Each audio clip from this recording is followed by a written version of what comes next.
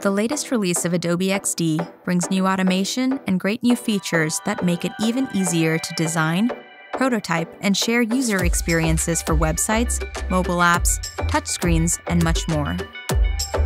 Interact with your prototypes like never before. Now you can add voice interactions to create UX for smart assistants and other experiences that go beyond the screen. Spend more time designing and less time resizing for the screens and layouts you need with the new responsive resize tool.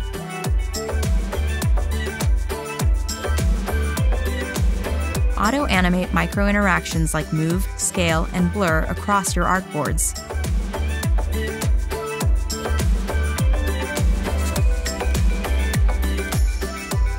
Adobe XD now works with more of your favorite Creative Cloud apps. Open your files from Photoshop, Illustrator, and third party apps such as Sketch right inside XD your artboards and layers stay intact for easy editing.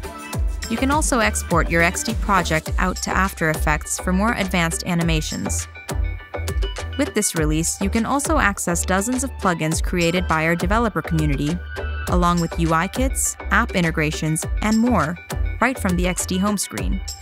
And it integrates with more of your favorite collaboration and productivity apps, including Slack, Jira, and Microsoft Teams. XD is getting better all the time, and with the latest innovations, you're ready for whatever comes next in UX.